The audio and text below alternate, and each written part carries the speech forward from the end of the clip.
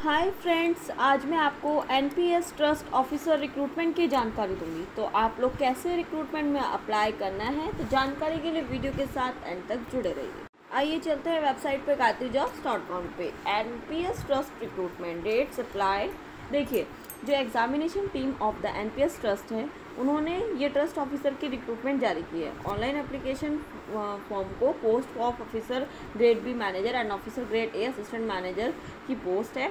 सभी eligible trusted candidate last date से पहले अप्लाई कर सकते हैं। देखिए, जो commencement of online registration of application है, तीस अगस्त से शुरू हो गए हैं। बीस सेप्टेम्बर लास्ट डेट है और एडिटिंग एप्लीकेशन डिटेल्स की डेट भी लास्ट डेट भी बीस सितंबर ही है, ठीक है? और ये देखिए, पाँच अक्टूबर में आप लोग की लास्ट डेट प्रिंटिंग और एप्लीकेशंस की है। तीस अगस्त से लेकर बीस सितंबर तक आप ऑनलाइन फ़ीस पेमेंट कर सकते हैं।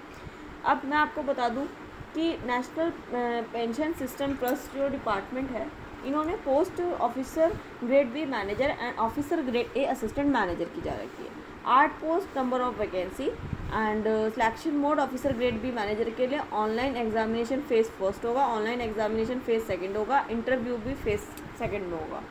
और officer grade A assistant manager के लिए सिर्फ़ online examination phase first and interview phase second होगा। ठीक है? अब मैं आपको बता दूँ वैकेंसी डिटेल्स यहाँ प्रोवाइड्स हैं।